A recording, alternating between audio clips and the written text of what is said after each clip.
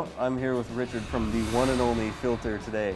Thank you so much for guys. giving us time. Thank to, you for uh, having me. I you appreciate it. I, I can't tell you how cool this is for me to be talking to you. Like, Awesome. you know, it's uh, it's awesome. I'm I'm excited. You mentioned wanting to you know get yourselves kind of back out there. Yeah. Um, what what I guess what other approach would you be taking differently right now?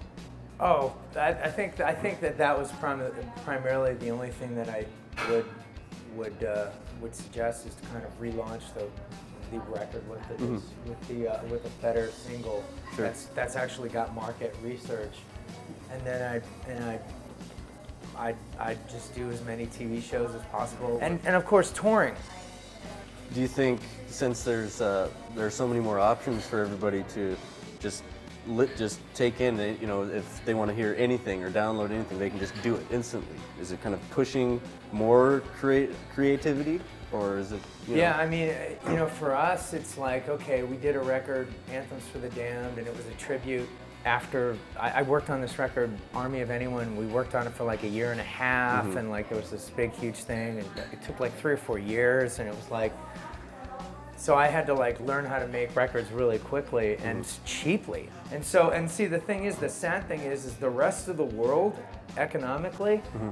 is moving on, and Right. our world has changed into this thing of like, well, if we can't if we can't make records the way we want to make them, what are we doing? So you have to be, you have to show up with like a shovel and a and a and a, and a spade and just be like, I'm here to f- work. It's not it's not drinking and having and like like this whole thing with Nickelback and all these dancers and strippers and everything. It's like I'm glad someone's having fun because the rest of us are working our asses off. Like yeah, yeah, cool. You know, it's it's been uh, it's been quite the journey from from, from short bus to now. Um, you know, you've you've mentioned before that uh, that you've you've gone to rehab. Yeah, oh yeah, Yeah, and uh, so what what is that uh, what has that taught you? alcoholism and drug abuse. It's it's it's you're the last one to know. It's it, and it's bizarre because it's a mental illness, obviously. I mean, if you've ever seen the show Intervention, I mean, Right, it's yeah. it's just and that's what that's where I was. I was waking up at seven o'clock in the morning, hungover, and dreading what I had done as an alcoholic. And I'd wake up and I'd be like, ah, God, my head's killing me. I'm gonna have a beer because, you know, we all learned that The thing, you the know, hair of dog. the dog thing.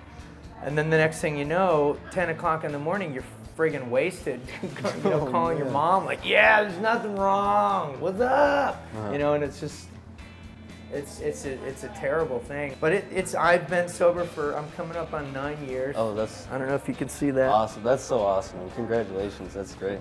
Yeah, it's it's for me. I just was humble enough to know like, okay, Mm-hmm. normal people don't drink like you do. How uh, like how does it feel to know that like your your experiences and how you're able to you know pull yourself out of this, you know you're inspiring other people out there to at least try to do the Oh same man, thing. I've had, I've had the probably one of the greatest things that's come of my recovery Mm-hmm. is uh, there's this um, one kid who wrote me on MySpace and Mm-hmm. he said, "I'm I'm 17. I've been arrested three times for DUI. I'm gonna Wow. lose my license."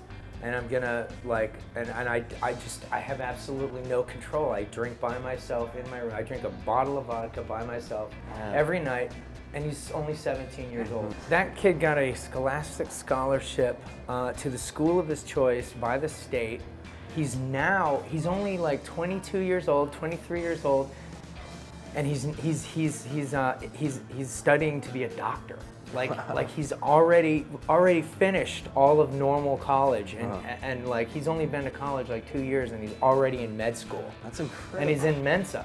Wow. And it's and it's like, I'm like, wow. I, I was the one, the last little thing that kind of said like, dude, you're you're an alcoholic. Get together. You know that that to me was worth my entire experience of being Absolutely. an alcoholic because he's still the biggest filter fan. You know, I've had a really rough couple of years. Of, there's been a like a like a, a family huge family emergency with my man. the kids that I was the, the guys that I grew up with, and um, you know, it's it's it's it's shaken the foundation of like you know everything that I know is real. Yeah. And um, you know, you just have to keep marching through it.